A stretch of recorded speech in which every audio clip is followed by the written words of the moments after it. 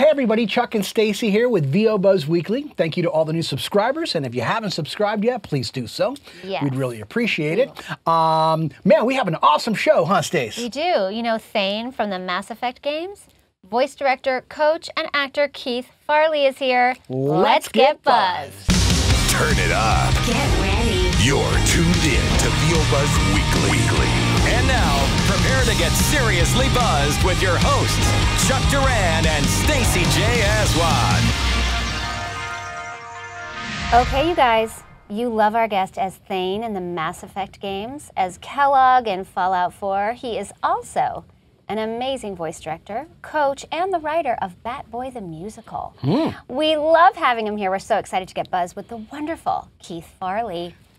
Yeah! That's you. Oh wait, Keythe, Hi. that's you, by the way. Shoot. He's like, I was like, "Man." I can't Like- wait to meet this I guy. when does right? he come in? He's gonna sit getting- next to me. This is great. it's you, precious. Do we want to Yeah. pick it up? Should we pick it up? He's so pretty. Happy to be here. He's even more handsome in person. I'm just saying. Cut it Isn't out he handsome? now. He's very handsome. if I like dudes, you. I would Mm-hmm. like you.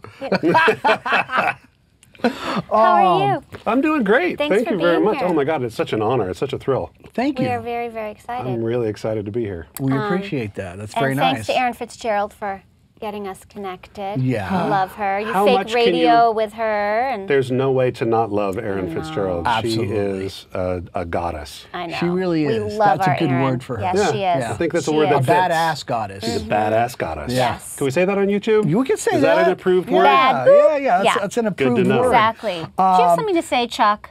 Yes, I have questions, man. um, so uh, this is really too. cool. I want to start off with this because it's, it's it's so neat. So you started out as a radio DJ in Sacramento, Mm-hmm. right? Then you wound up in Los Angeles. So give us some highlights Fill in of some back the- in the DJ days, Oh. the stories that you can tell us, and how you actually got here to LA. Did What you have a to LA? radio name? No, I didn't. You know, but it's funny. Like those guys all have their DJ names. My Yeah. favorite was a guy that I met at KROY in Sacramento Mm-hmm. who came in and he his his name was Mike Crow Fong. Nice Get it? microphone, Microphone. like microphone. Exactly. He came with some chopsticks. He was just like, it's Mike Crow Fong in the afternoon. Was he Asian? He For the. Fong? Oh, so He I that's was. love perfect. it. Yeah. but it- Microphone. Because didn't when, get when at Mark first. Elliott was here, he went through his whole list of radio Of radio names, names. And they were hilarious. So, but Keythe Farley's Tony solid. Cox was the morning guy. Uh-huh. So it was Yeah. Cox in the morning. yeah. Nice, yeah. So they told you you already have a radio name. Don't change it. Stick with Farley, Farley. yeah, Farley, Farley. so give us some highlights of back in the uh, DJ days, man. Like, what were some cool things? I'll tell you what, it was 2 to 8 a.m. on Sunday morning. Two to eight a.m. on Sunday morning. That was the gig. I was I was Yeah. 17 years old. Wow. And I would just do I started as as a we had I had a, a friend's mom who was dating a guy who worked at the radio station. Okay. So I started calling him up. Like, hey, it's Keythe Farley. I'm, I'm you know, Bev Gandy's uh, kid's friend. Can Yeah. I work at the station? And he was like, no. I was like, all right, I'll call you next week. Persistence. So Persistence. I just kept calling him and calling him. He's finally like, all right, all right, come down here and do surveys. So I would come in at after school and I would sit at a little desk and I would just cold call people and Oh. ask them what songs they like to listen to. And they just had me doing interny type stuff. Yeah. But every day I would go in, I'd walk by the program director's office and say, hey, listen, if anything opens up, you know, I'm Yeah. a DJ at my high school radio station. Ah! and Yeah. Anything happens, I'm available. I got the chops. Here's my card. Here's my card. and eventually, like three, four, five months later, they put me on. That's it. Sunday That's morning, fast. 2 a.m. Oh my! You must have been so excited. It was the was. pre-church crowd. I was beside, exactly. Yes, everyone's Exactly. waking up for worship. Yep. Yes. I would do my Saturdays, and then I would just go straight into work Mm-hmm. at 2 a.m. and go 2 to 8. So I, from 2 to 2:40, I was doing DJing, and then 2:40 to 6:30 was public affairs programming, which was oh. all the stuff that they had to do Yeah. to keep their license. Of course. And then at 6:30 to 8, I was a DJ for all my pals who were getting up and getting ready to go to church. Right. Nice. So I'd meet them at church in the morning, and they'd be like, "Hey, nice show this morning." I'd be like, Yeah, "Right on." So then I would go straight through church, and we get off, go out to brunch. Yeah. I'd Oh get my home about two, three o'clock in the afternoon Sunday after being up since like 8 a.m. on Saturday morning and just sleep straight through till school on Monday Right. morning. So from you Wow. were not three in the afternoon till eight the next morning. I would just sleep it off. This is just a hunch, but you were not playing ACDC between those hours, right? Uh, that's not, no, that was. You know what they were going what for kind of was stuff were you were you playing? it was they the the format was adult rock. Adult rock. So I, the, the songs that I remember from that period that I will never get out of my head. Yeah. Um, Edge of Seventeen. Okay, great Stevie song. Nicks. Yeah. Uh, Shake It Up by the Cars Shake was It huge. Up. Oh, good. On Yes. that, that's always the speakers Yeah, in the yeah, studio. yeah. Because I would always turn it up a little bit for the Shake It Up. Yeah. And um, they just got inducted in the Lunatic Fringe. in the hop in the Walk of Fame. Yeah, Right, and the police. Yeah. um, every little thing she does is magic. Was Oh, another one that nice. was. Oh, that's great. that yeah. Ghost in the Machine Yeah. record was. Oh, so you guys were playing some of the big smashes, man. yeah, yeah, for yeah, sure. big rock smashes. So cool, yeah, it was yeah, so yeah. much fun. And like I said, for that half an hour at the beginning and the 90 minutes at the end, and the rest of it was just trying to get through the night. How long did you did you were the were you the DJ man? I was there about nine months. You were there for nine months, and then what happened after that?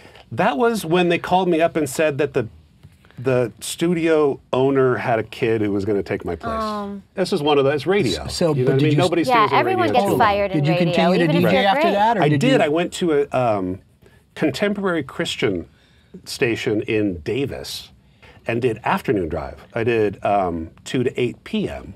every oh, day of the week. Yeah, yeah. Six days a week. And that was an automated station, which was a gas, because they would give me the, you get the sheet, they was all reel to reel Yeah, oh, at yeah. the time. So they were like five reel to reels lined up, and then the one at the front was me. So I got the number one reel, which had all the songs on it. I knew what songs they were, and I had the number six reel. So I could back announce number six and front announce number one. Wow. And I would just do all my talking in one like hour, two mm. hours maybe, Yeah. just to do all the front and back announcing. And then uh, and then I had the rest of the evening to sort of do homework and monitor the station and take care of everything. Oh my I was gosh, in college love at the that. time. I was So 19. You know, Cute. homework. I And, love it. And we ran Gene Scott. You know, remember Gene Scott? No. He's a local dude who was crazy. He'd wear this like old fisherman's cap, and he had this big beard, and he had this great gospel quartet who would sing this song, and he would make them play it again. That was his big thing, like play it again. and they'd finish. Play it again. I want to hear that song again. Play it again. Uh, oh, it was great. that's a great character, huh? he was he was a character. Yeah. He I was a love nut. it. Cool. So then, how did you discover voiceover? When did that come into your? I mean, because you've always been a ham, right? You always wanted Yeah. to perform. He's You like, were- yeah. Because didn't He's I? sure about I've been that. accused. I can't of- remember if I read this or someone told me that you occasion. would sit in your room and like play records. And I was that kid, You yeah. were like always like, hey, it's Keythe Farley. You know, you were Yeah, like, hey, it's Keythe Farley. yeah, that's, oh, sorry, that's Keythe Farley. It's my voice, not my voice. Yeah. that was when I was living in down in, in Long Beach. So it was Yeah. KHJ, which was Boss Radio. Yeah.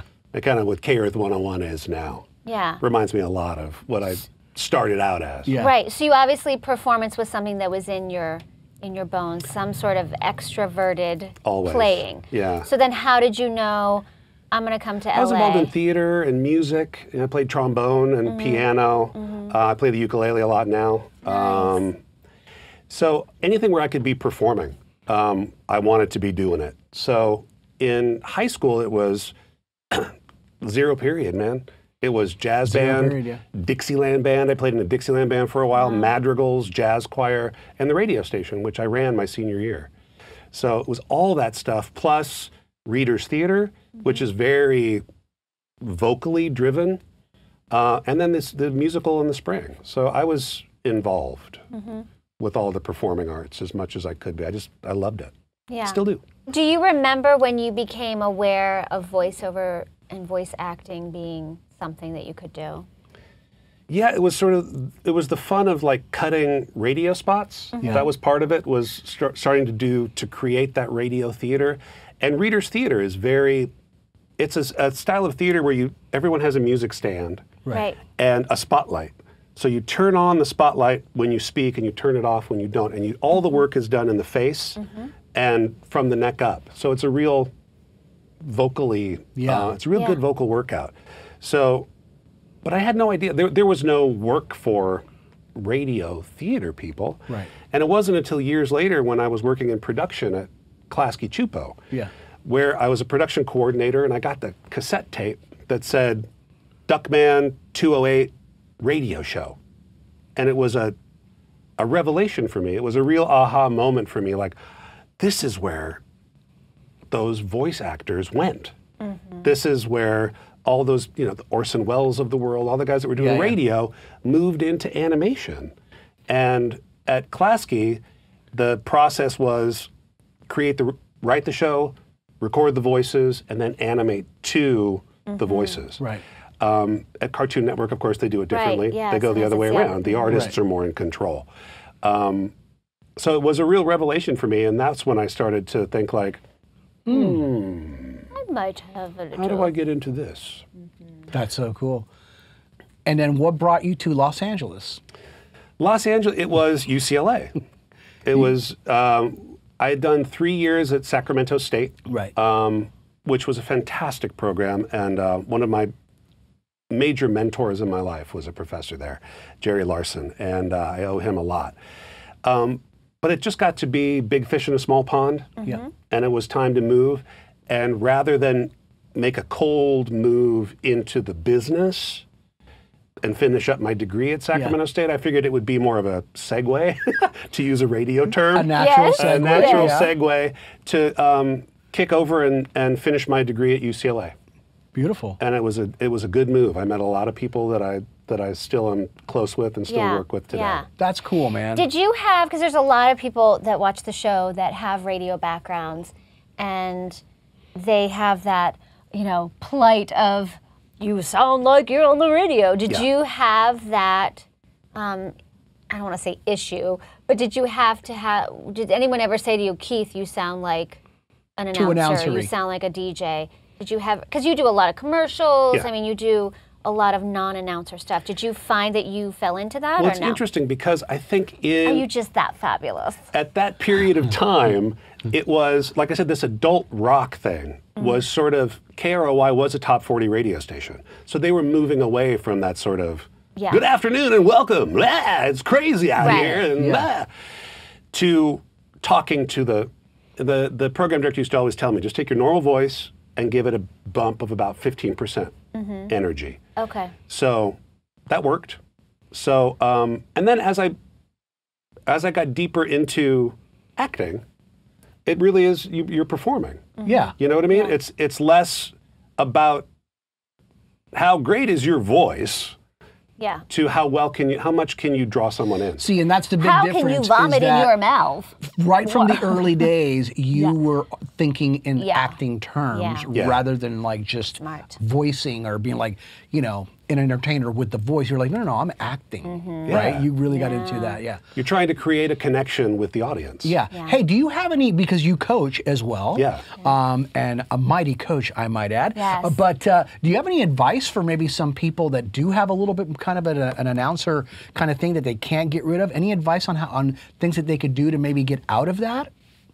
If they even should get out of that? Um, You know your what I mean? There's money in it. I mean, there's still Yeah, I there's mean- still call for that. Absolutely. The announcer is absolutely not completely dead because somebody's like, It's- oh, Oh, I that's not know. in anymore. I know, and no, you'll no, no, hear something. All some the time. Don't you buy don't buy that. Don't buy that. Mm-hmm. Um, Exactly. because they're out there. It's not it's not my forte. Yeah. It's not what I'm what I'm it was kind of what I was built for as a kid. I mean, that was me and the Hey, it's KH Day. And I was you know, trying to do that wacky real Don Steele thing, who I respect and love a, a bunch. Yeah. Um, so yeah, there's there's no, no there's no shame in it, right. but there's a lot of call for for connection. I think that's a real Yeah. Um, that's a it's a really it's a great thing to see. I love what you just said connection. There's a call for connection. Yeah, because even if you have an announcer-ish approach to things, as long as you are connecting with people, you're not just like in your own world. Now you're putting in what we need in today's market. Yeah. Right. Yeah, I very love much so. And there's also the, the sort of the the comedy read, the everyman. Yeah. Uh, in commercials in particular, and then there's a thing that I'm I'm getting a lot of lately, which is sort of the ironic read. That sort of announcery read Yeah. that's saying absurd things. Yeah. You know that. Yeah, Yeah. kind of like the I call the uh, that my the, The parody, parody. announcer, Right. Right, Yeah, because yeah. you're almost kind of making fun of something or the dude or whatever. Right. Yeah, I love Yeah. that. They're fun. Yeah. They're really, they are really fun. and so many commercials, so many brands are using that. Yes. You know, Little Caesars, for example, and hey, this episode is not sponsored by them, although But it it should could be. Um, um, uh, but they do that all the time put in a out lot of commercials. You know, Little Caesars coming at you with a banana. You're like, Yeah. oh wow, Yeah. Yeah. it's fun. Well, and it's funny now because when you hear it, it stands out more. Where, whereas it used to be kind of that's what it was. Now, when you hear it, you kind of listen more because you go, "Ooh, it's kind of novel." Yeah. Yeah. It's drawing you in Yeah. yeah. as opposed to sort of barking at you. Yeah. It's sort of, and, and again, that's just the excitement of it. They're trying to get your attention and get you excited. That's Exactly. what the announcer is. Yeah. there to do. Yeah. Well, since we kind of went there a little bit, let's let's talk about the VO Lounge. Yeah. You have this totally rad little setup. George Whittam did Yep, it. George right? We love our um, George. Who's that? George Whit- George Whittam. Who's George Whittam? He's a he's a YouTube star as well. tech- George Whittam is a freaking rock star. That's, he what, that's is what he so Yes. amazing, Yeah. lovely guy. Yes. And chops for days, man. He knows Yeah. his stuff. Yeah, He really he's a, ma- does know He's his a stuff, magician. man. He can take a space, and all of a sudden Yeah. you're like, "Oh, it does work." Yeah, you know what I love So about skilled. George? Let's talk about George for a second. about just for George. two Do that, seconds. 'cause What I love happy to. about This George. segment's sponsored by George Whittam. Yeah, George love- the Tech. yeah. GeorgeTheTech.com, by That's the where you way. find so what I love about Or George. Whittam's World is a bunch of that stuff. Absolutely, he's got some VOBS great stuff out every. Monday night. I'll be on that Yeah. show in a couple Yeah. weeks. Yeah, but what I love about him is that he he really is complicated as he thinks. You know about the sound and you know the actual uh, you know the actual uh, uh, what am I looking for? Uh, Acoustics. Yeah, the Technical. technical Yeah. side of uh, what he talks about. He tries to simplify things for people, and so you're not buying necessarily the most expensive something, but he's like, well, actually, for this room, to get it to sound right, all you really need is this. Yep. Yeah. As opposed to saying, "Oh, we got to redo everything because we have to have the schlem and a dicker and it's got to go this way. and It's got to be slanted at ninety percent, right?" Right, See, right, He doesn't do that. right. He's very practical. And he knows all the layers. Like he goes, "We're going to do this because of this, because of this." He's just his. I love how his brain works. He really He's understands really smart. all. He's also the kind of guy that I can shoot a text to yeah, Yeah. with a technical question. Yeah. And you get two sentences back and you Mm-hmm. go, oh, totally. Yeah. So the VO Lounge. You had a vision, I did. And George made it physically happen. But what was your vision from the coaching philosophical point for you? Why did you want to do it? I'm, I feel like I, am standing in the middle of, I, I've been working for, for 20 plus years now with the best actors in the business. Mm-hmm. Everybody from E.G. Daily to Steve Blum, mm-hmm. Nolan North, everybody. And they're sort of, they're all like sort of around my age. And just recently, I've sort of started teaching, you know, doing guest spots in classes. Yeah. I've noticed all these really super talented young folks who were coming up. And also, it happened on um, Final Fantasy 15, um, which I had the privilege of casting and directing. Very just- cool, man. What Yeah. That's a it was a huge, Huge ti- yeah, gig. We got the main cast, we got the secondary cast, we got the tertiary cast, and then we just it was wave after wave of filling in all these roles. So I went through all my peeps, and then I went through all the recommendations, and then I got down to the point where I was like, I still needed another 30, 40, 50 people. So Mm-hmm. I started. It was great because I got to go back and listen to demos. Nice. I got to go back. It wasn't just like, oh yeah, yeah, bring me so and so because they're great and they're easy and they'll be fun. Yep. It was like, no, who's who else is out there? So Yeah. the agents, God bless them, sent me all their 20, 40, 60 kids, and I just went through demos and was like, yeah, bring me that guy, bring me that one, bring me this guy, and met these up and comers. Um, and so I wanted to take the experience that I've gained over 20 years and be able to to share that Yeah. uh, with folks who are training, who are coming up, who who are looking to do this work. Yeah. Yeah. So that was the that was the spark. That's so cool, man. And I was walking through. We we had this house that was a kind of a U-shaped house, and a couple owners earlier had built a uh, made a room out of the courtyard, right. and he'd split it in two because he had five kids. So I think there was one little bedroom on each side. So I put my office in one of the bedrooms, and I put my kid in one of the tiny bedrooms, and gave her the other one as a uh, as a sitting lounge where she could receive visitors, Yes. which she never used. It just became a hallway. Right. Oh. And one day I was walking through the hallway and I stood in the doorway between her room and the other room and I kind of went, if this wall went away, this is a pretty good sized room. Yeah. And I started thinking about Watching a little too much HGTV there. huh? exactly. Demo. Yeah. Yeah. Bring me a sledgehammer. Let's get going. And uh, I wanted to knock out that wall. And uh, it's about that time I called George just to to get the specs Yeah. and figure out how to do it and do it right. Yeah. Um, and uh, George designed me a great room, very similar to this one, which had a nice little rectangular booth in one corner. Yeah. And I kept looking at it and I kept walking around the room and trying to figure out how it was going to work. And I, I realized that in order to, to make the room viable for teaching, that the booth had to be on a 45. It had to cut that corner Yeah. so that I could get eight or 10 folks in the, in the facing corner, in the Right, adjacent right. corner. And uh, he was able to accommodate that and make it sound sweet. And um, it's up and running, and it's it's just been a blast. That's We have my first class. Man. We're doing our third Hey, uh, take it easy there. uh, third episode of the first class uh, tomorrow night. So just a month old. It's just a little baby. Wow. And uh, I'm really eager to to see it grow. Yeah, to cool, be able man. to reach out and give back and and share with with the folks who are coming. Yeah. up. If you guys go to keythefarley.com, it's down on the screen, um, and you can g- click on VO Lounge. You can get more information and follow you on Twitter. Indeed. The Twitter. The Twitters. Um, so Wait, wait. I wanted to ask him a quick question in Yeah, regards to the uh, video game that you were just talking about because a lot of people ask this, and I mean, I kind of know the answer, but I want all them to know. On an average, because you've cast some of these huge video games, on an average, how many voice actors actually would get cast?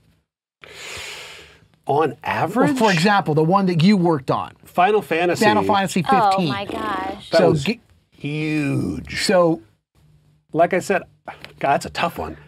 Probably close to two to three hundred. okay, that's beautiful. I'm gonna guess. Yeah, and and the reason why I, I ask that is because a lot of times people say, "Oh, I want to get into animation or I want to make an animation demo," Right. and I always say, "Do you have a video game demo?" Right. And they say, "Well, no." And I said, "Well, you would add more value to your repertoire mm-hmm. if you have a video game demo because there's more action there." What do you mean? Well, think about it. In an animation show, you got how many people that are working on it? Eight. eight. Yeah. You know what I mean? And that's it. And that stays on for years. Right. You know, a game comes out like Final Fantasy 15, Right. and 300 people get work. Mm-hmm. Yep. Can I tell a secret? Yeah. Can I give your? Can Well, I give first the of all, are you allowed to tell Can a I secret? give a? Can I give a little secret? Yes. A little behind the. Pull the curtain aside. yes. When I'm casting video games, I will often bypass the animation demo and go to the commercial demo Wow. because, I Because it's want to hear. real. I want to hear the actor's natural voice. Wow. Yeah. I want to hear that. that's So I do a lot of that. And I think it, uh, the demo reel for the interactive demo, Mm-hmm. I think you're absolutely right. Um, there's a lot, lot of work in interactive. Yeah. Animation is sexy, and you get it pays really well. Yeah. because it keeps paying and paying and Of paying. Of course. But um, volume of work is Yeah. in is in interactive. Yeah. Yeah. What advice can you give to those people watching who really want to pursue, and let's stay specific to video games, what kind of skill set, what kind of chops do they need to bring to the table? Because the bar keeps raising. It does. So just because maybe it's your first game doesn't mean that you get that entry level freshman kind of expectation. You've got to come into the stream. You got to come in and deliver. Yeah. Yeah. Yeah. I always tell students um, to think about their career as if they're going for a master's degree in voiceover. Right. So many, so often, I think there's less of it now because there's more respect for the industry. There's more respect Right. for the craft of voiceover. But when I started out 15, 20 years ago, people would come up to me all the time, like, people tell me I have a great voice. How do I get into voiceover? Um, and I said the same thing then that I say now, but Which is? treat it like a master's degree. Take classes, do your homework, do your research.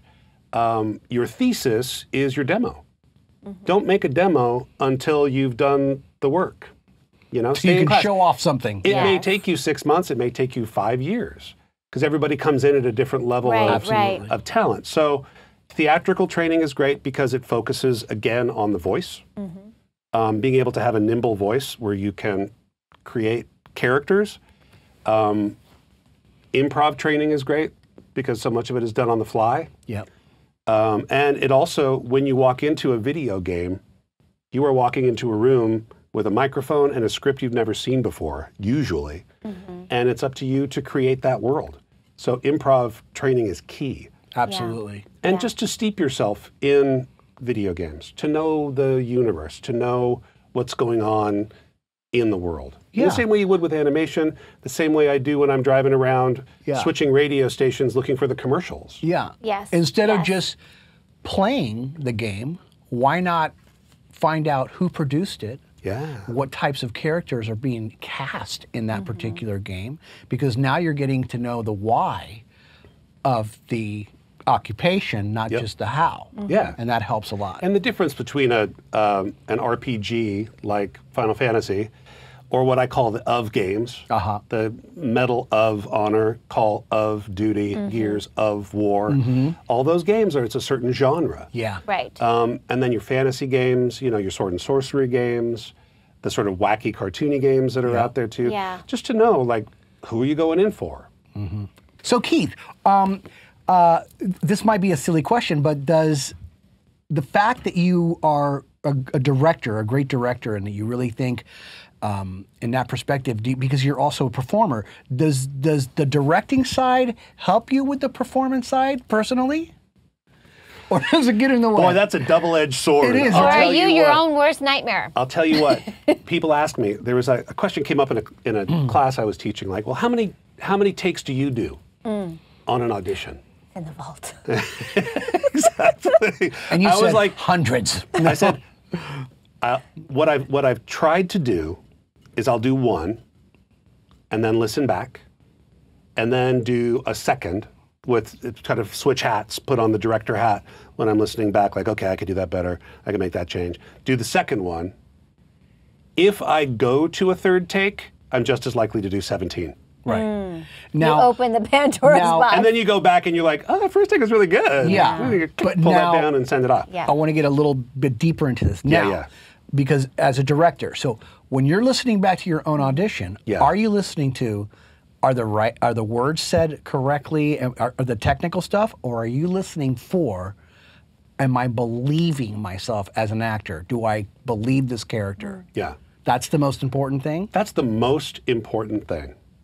I listen back to myself to make sure. So this is where the balance, for from my perspective, the balance between technical facility and emotional connection comes in. Yeah. Because you, nobody cares if I feel it. Yeah. Am I making you feel it? Right. That's the important thing. So I do listen for technical facility because if you're swallowing the product mm-hmm. name or if you're swallowing, we've got to go over that mountain to get to the monastery to take it back from the conquerors.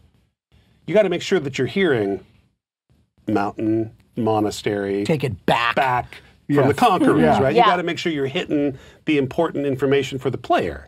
So I, I view everything I do as with a servant attitude. Yeah. That I'm a servant to the writer, and I'm a servant to the audience. Mm-hmm. So I want to get whatever it is, whether it's a commercial or a video game or animation or audiobook.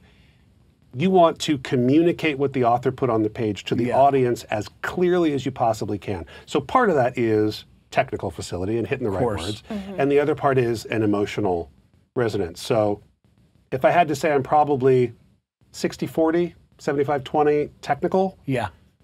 Okay. And are you pretty good at going, okay, great, it's done, I'm leaving it? Or do you go, "Mm," does it stay with you? yes. yes on both. I forget of the about it. He's like, you're think not my about it. priest, I'm not And in the then I forget confessional. about it, then I no, think sometimes it. I'll just be like, there are days where I'll just go, that's it. I had a couple of auditions this morning that were just easy peasy. I just Okay. did three in a row. I didn't even stop. I had two. I just clicked over to the next piece, did that three times, went back and listened, and was like, yeah, Look at you being all carefree. yeah, that's it. No, but then then there was last week Yeah. Oh. when I was, and they're like, no, no, no, no, no, I gotta, I gotta get out of the control chair, it. and I gotta go back Oh, in the oh, booth, and I gotta do it again, to talking to the microphone again. Oh. Well, that's part one with Keythe Farley. Uh, make sure you stick around next week for part two. Yes, and don't forget to leave your questions and comments below. And also follow us on Facebook, Twitter, and Instagram. We love you guys. Thanks for watching. And just remember, You always have time for a little buzz. Come on, come on, come on and get buzzed with us.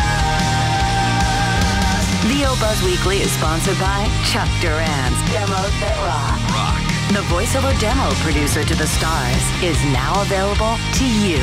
Visit demosthatrock.com and take your voiceover career to the next level. See you next time. And remember, you always have time for a little buzz.